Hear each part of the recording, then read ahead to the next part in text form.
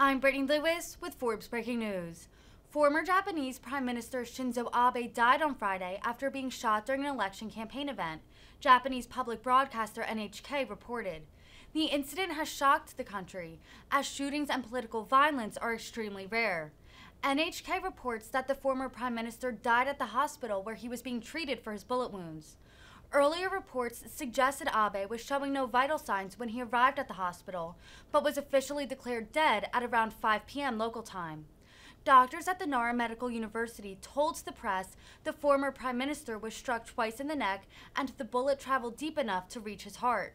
The doctors tried for several hours to revive Abe, but couldn't because he had suffered too much blood loss. Japanese Prime Minister Kishida said Abe's death left him, quote, lost for words after an emergency meeting with his cabinet.